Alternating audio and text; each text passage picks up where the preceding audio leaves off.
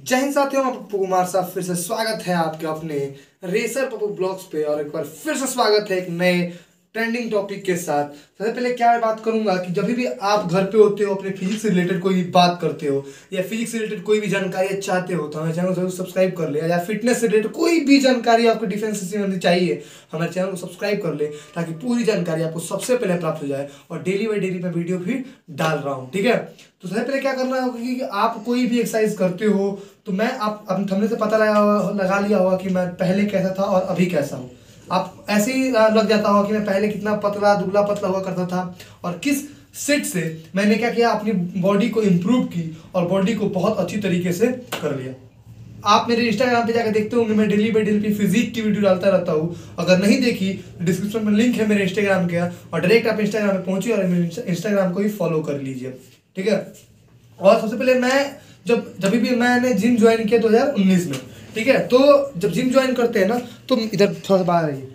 तो एक सबसे पहले क्या होता है कि एक सोच जगती है कि मैं घर पे भी डम्बल्स मारूं, ठीक है? तो क्या होता है कि जब डम्बल्स मारता हूँ ना तो ये घर पे सभी चीज़ें बनाई होती थी कि मैं जब आऊँगा घर से कहीं जाना होता था पूरा मसल्स क्या होते थे कि पंप हुए रहते थे जैसे जिम में रहता था मसल्स क्या होता था पंप रहता था। और जैसे मैं घर पे आता था तो सारी मसल्स क्या होती थी पंप से खत्म हो जाती थी। तो जिम में रहो तो पूरा एकदम लगता था कि हाँ पूरा एकदम बॉडी एकदम अच्छा दिख रहा है। पर जैसे ही घर आओ तो बॉडी थोड़ा सी क्या होती थी लूज हो जाती थी। तो अब लगा कि घर पे बना लेना चाहिए था। तो घर पे कहीं भी जाना होता था, मैं ऐसे ऐसे कर लेता था, उसके बाद से कहीं से निकलता था, या पुशअप्स लगा के। तो बाद में क्या रियलाइज़ हुआ कि मैं अपनी फिजिक के साथ क्या कर रहा हूँ तो छः सात महीने मैंने जिम किया। उसके बाद से बहुत से प्रोटीन भी खाए, ठीक है ना? तो उसके बाद से क्या हुआ कि एकदम सडनली वेट पैंतालीस किलो से मेरा वेट हो गया नाइन्टी फोर के जी अब उसके बाद से जब मेरा मेरा जब माइंड क्या घूमा कि मैं मैं अब इंडियन आर्मी जाना चाहता था। क्योंकि मेरा माइंड परिवर्तन बहुत जल्दी हो जाता है। ठीक है?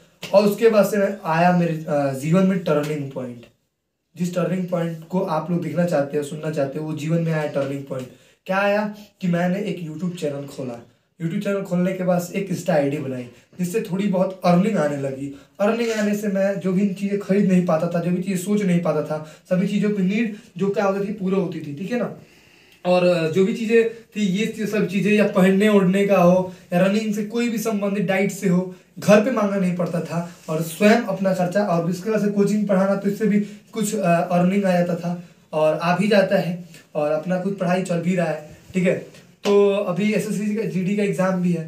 तो वीडियो को ज़्यादा लंबा नहीं करते, चलते अपने मेन टॉपिक पे कि एक्सरसाइज में कौन सा करता था। सबसे पहले तो उसमें जब ज़्यादा था ना तो हमारे गाँव के बगल में गोपालगंज है गोपालगंज जिला डिस्ट्रिक्ट से मैं बिलोंग करता हूँ, बिहार से, वहाँ पे बहुत सारे जिम है। लेकिन जिसमें जिस जिम में मैं जाता था ना, वहाँ पे ट्रेनर कोई था नहीं। जाओ, हमको क्या करना है जाके? और थोड़ा सा स्ट्रेचिंग करनी है यूट्यूब पे वीडियो मैंने देख लिया। उसका स्ट्रेचिंग करने के बाद से क्या करना है? बाइसेप आज मारना है तो बाइसेप मार लो ट्राइसेप मारना है ट्राइसेप मार लो चेस्ट मारना है चेस्ट लेग्स मारना है लेग्स बैक जो जो आपका मन करे, यहाँ पे सेट बना होता था, जो आपको मन करे संडे को ये मारो मतलब जाके देख के लगा लो। तो मैं ये करता था, मेरी स्ट्रेचिंग आती जब मैं भी जाता था ना, जाते वक्त मैं करता था, ऐसे डिप्स लगाता था। जैसे पूरा शरीर को डिप्स लगाता है स्ट्रेचिंग करने के बाद। डिप्स लगाने के बाद मैं पुलअप्स करता था। पुलअप्स करने के बाद से मैं छोटा थोड़ा बहुत सेट लगाता था और जिस मान लीजिए मेरा चेस्ट है तो मैं उस दिन दो मसल का कार्य करता था, ठीक है ना? दो मसल पंप करता था, यानी चेस्ट है तो मैं क्या करता था? बाइसेप भी लगा लेता था। अगर मैंने बैक मारी तो ट्राइसेप भी लगा लेता था। अगर मैंने थाई मारी तो मैं शोल्डर भी लगा लेता था। ठीक है? तो ये सभी काम मैं करता था। और घर पे भी मैं ये करता हूँ, मैं यहाँ पे मिक्स सेट लगाता हूँ। आपको लगता होगा कि मैं आज बाइसेप मार रहा हूँ ट्राइसेप पर नहीं नहीं।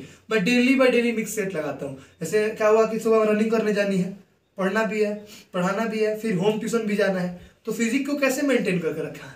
तो इसलिए क्या करना है कि मैं हर रोज आपको मैं, ये देखिए, ये जो सेट है, इससे मैं हमेशा चेस्ट लगाता हूँ। सेट लगाने के लिए आपको चाहिए? एक बेंच चाहिए बेंच मेरे पास चाहिए और इससे मैं क्या लगाता हूँ? चेस्ट और अगर वेट चाहे तो वेट मैं जितना चाहे उतना बढ़ा सकता हूँ, क्योंकि मेरे पास बहुत सारा वेट भी है, ठीक है? चेस्ट लगाने का ये हो गया। अगर मुझे अप चेस्ट लगाना है अप चेस्ट लगाना है तो मेरे पास यहाँ पे ये वाला है, और वो उसको लगा के मैं अप चेस्ट बेस से ऐसे करके लगा लेता हूँ, ठीक है? और डाउन का मेरे पास है नहीं डाउन में नहीं लगाता, ठीक है? अब रहा दूसरी बात कि डंबल के साथ डंबल के साथ डंबल के साथ में भी मैं लगा सकता हूँ, और इसमें जितना चाहे वेट भी मैं इंक्रीज कर सकता हूँ, बढ़ा सकता हूँ, ठीक है? तो ये सब चीज़ें हो जाती है। ये करने के बाद मैं अपना बैक और शोल्डर भी मार सकता हूँ।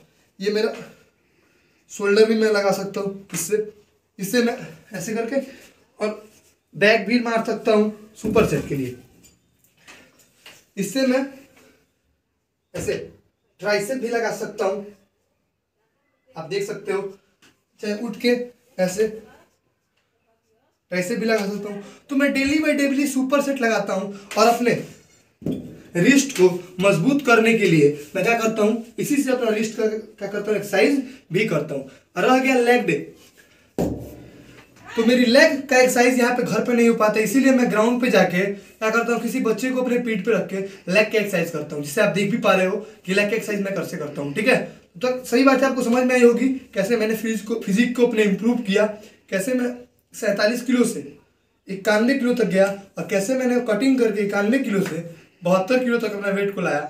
आशा करता हूँ सारी बात आपको समझ में आई होगी, समझ में आई होगी तो बने रहे चैनल पे और देखते रहे चैनल और ऐसे ही सपोर्ट प्यार बनाए रखें, ताकि अगर भाई ऐसे ही ग्रो होता रहे तो बन रहे चैनल पर चैनल रेसर बाबू ब्लॉग तब तक के लिए जय हिंद, वंदे मातरम।